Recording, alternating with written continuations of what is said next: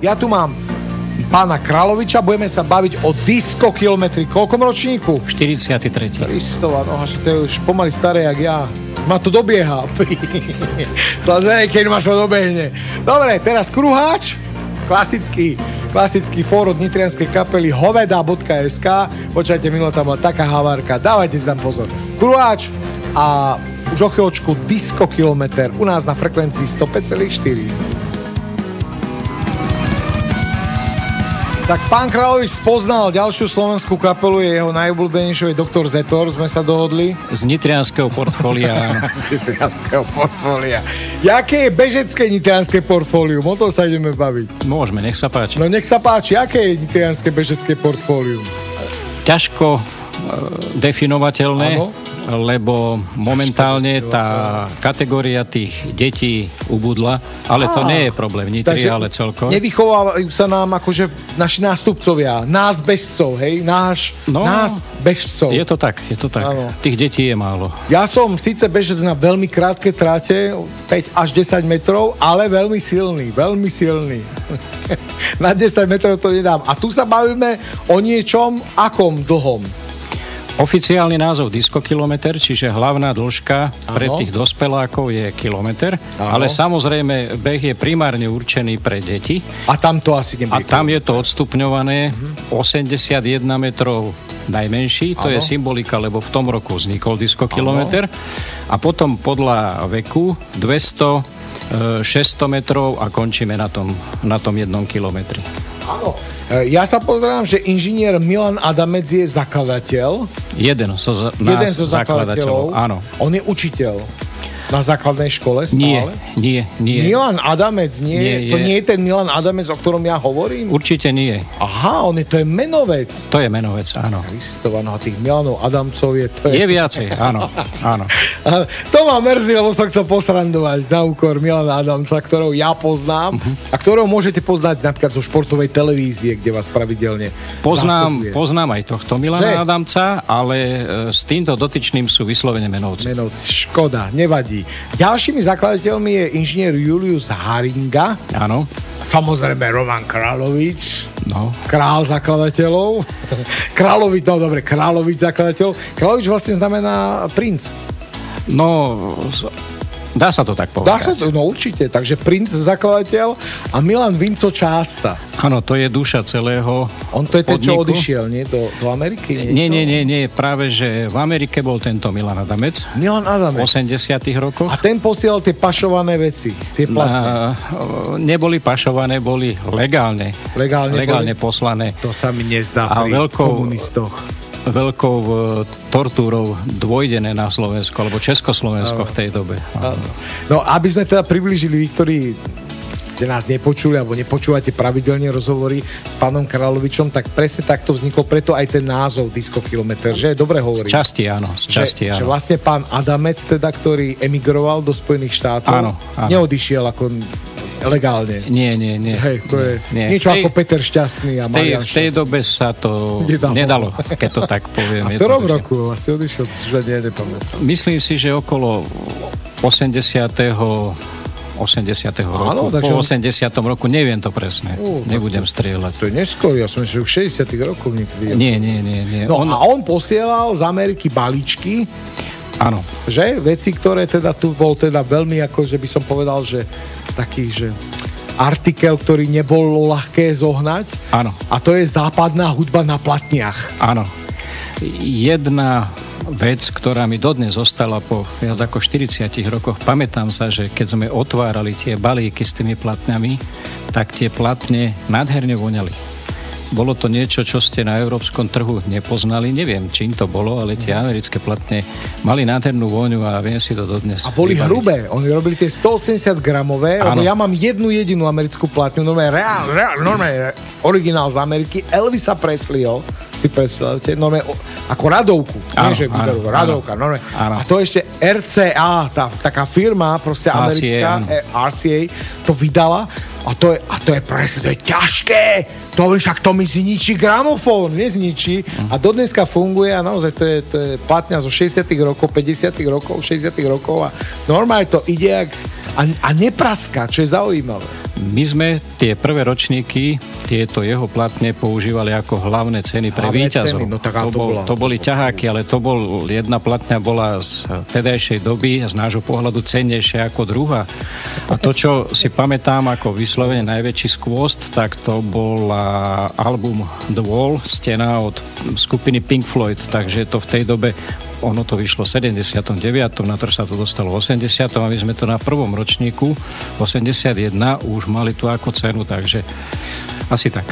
No to, to som prekvapený, že toto prešlo cez komunistov, lebo The Wall samozrejme vieme, že to je o berlínskom múre a teda to je ako, to, hej? E, bolo to, The Wall je hlavne protivojnová platňa. Samozrejme. Čiže z tohto samozrejme. pohľadu asi sa to, asi to preliezlo. No. Áno, inak ja ale poviem jednu zaujímavosť o The Wall, o, to je e, tak vznikala pesnička, možno mnohí Nena, 99 Luftballons, to je slávna áno, pesnička Neny. A tu napísal uh, gitarista, mám pocit, uh, kapely, ktorá teda obkolosovala uh, Nenu. A on ju napísal práve preto, bol na koncerte Pink Floydu a bol na koncerte na západnej strane, samozrejme, Berlínskeho múra. A oni vtedy, keď končila, proste ako končil koncert Pink Floyd, tak vypustili balóniky. A on na základe toho vlastne vymyslel pesničku, že tam nemecký, východno-nemecký generál hej, si pomýlil tie balóníky teda s nepriateľskou akciou a spustil proste ako nálety a, a vojnu. A tak. Mm-hmm. Takže ja len, že takto vznikal Neunenojci balón, ktorá tiež bola vlastne protivojnová ako celý tento. Dobre, tak pozrite sa, normálne, pekne sme si začali. Uh, mám tu pána Královiča, ktorým sa rozprávam o ktorým sa rozprávam o diskokilometri. Mám aj dokonca otázku na ňo, ktorá mi prišla. E, e, dobrý deň, pán Kralovič náhodou nerobí vo funny sporte? Áno. Toto mi... Áno, takže odpoveď áno. Robí vo fan... Keby ste chceli podpisy od neho, tak samozrejme je ochotný sa podpisovať vo funny sporte, si ho treba vypýtať. No. Dobre, toľko teda úvod, roz... potom sa už budeme naozaj venovať uh, diskokilometru, kedy to je, okolke to je, jak sa treba vyhlásiť a tieto veci. A teraz už, ak náhodou nemáte plán na sobotu 24. júna, tak potom Plastik Bertrand vám prezradí, že toto je jeho plán. C'est plan pour moi a Plastik Bertrand. Áno, ľúbi sa, ľúbi sa pánovi Kráľovičovi ako odborníkovi na disco. Á, to nie, určite, určite nie som. ale disco kilometr máte v názve. To áno. To sa áno. ľúbi aj punková muzika. Toto bol Belgičan, ktorý samozrejme áno. žije teda vo francúzskej časti Belgicka. Aj preto tá francúzština. Bavíme sa ale o disco kilometri, ktorý teda odštartuje v sobotu, to už som prezradil na konci vstupu sobotu 24. júna 2023 a bude to od 17.00 do 21.30. Chceme sa asi vyhnúť tým strašidelným teplotám, ktoré asi budú. Aj to je jeden z dôvodov. Za toto umiestňujeme na ten podvečer a tí dospeláci už potom vyslovene v tom večernom čase. No, povedzme si teda bližšie o tom diskokilometri. Kto sa môže hlásiť a akým spôsobom? Prihlásiť sa môže a bežať samozrejme môže kdokoľvek. E, v tomto behu... A ja? Samozrejme. Ešte raz sa pozrite na mňa. A ja? Samozrejme. Vidím, že chcú mať mŕtvych. Vidím, že pán Kráľovič sa mať mŕtvych konečne nejaké vzrušenie na, na tomto preteku. Tak uh, no čo? uhynutý pretekár by nám dobrú reklamu nespravil, Počajte, takže to zase nie. Je, každá reklama je dobrá. Aj zlá reklama je dobrá reklama. To je, to je dobré. Uh, máme, normálne, tam je zabezpečené, ale predpokladám, že Určite áno, sú tam samozrejme. zdravotníci a všetko. Áno, áno. Môže sa stať, také Môže. teplá, dehydratácia. Môže, ale neboli by sme radi. Neboli by sme. Ako je to práve, teda, keď sa pýtame o tomto, tak ako je to vyriešené s uh, tým pitným režimom? Keď niekto zabudne si flašku doma.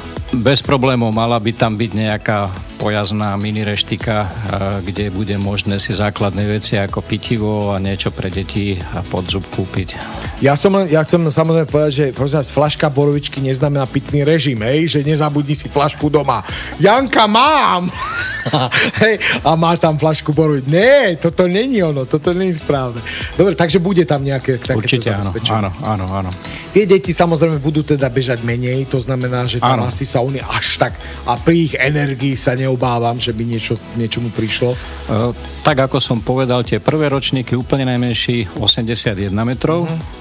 Potom tí starší pod 4 a viac rokov 200, potom okolo 10 rokov 600 metrov a prejde to k tomu kilometru, kde od tých dorastencov už pod tých vyslovene veteránov bude ten kilometr tá vzdialenosť. Ja si viem predstaviť seba medzi tými najmenšími, to si viem predstaviť, že to by som možno s problémami, ale tých 80 metrov dal myslím si. A, asi áno. To, no, asi áno. Nie som si úplne istý, ale myslím si, že by som sa pokúsil sa doplantať tam. Dobre, ako to vlastne bude teda s tým ocenením? Tam tie deti hneď a rovno po, zápa- po závode vlastne budú oceňované alebo áno, budú musieť počkať áno. do pol desiatej? Áno, nie, nie, nie. E, čo sa týka tých detí, ten prvý blok podvečerný je v podstate pre deti a druhý blok, ten večerný už je pre dospelých. Čiže ten prvý blok podvečerný pre deti, tie deti ako budú dobiehať, každý dostane čokoládu. To je v podstate cena, a cena ja? pre tie deti. No, Keby nejakú, som dobehol tých 80 metrov. Nejakú horku by som vám vybral asi. No. nedopraje mi, pozrie, nedopraje, pozerá sa na mňa, je ma, jemu má lúto, to vidím z očí mu ide, že lúto, ale do, teda dobre, horku berem.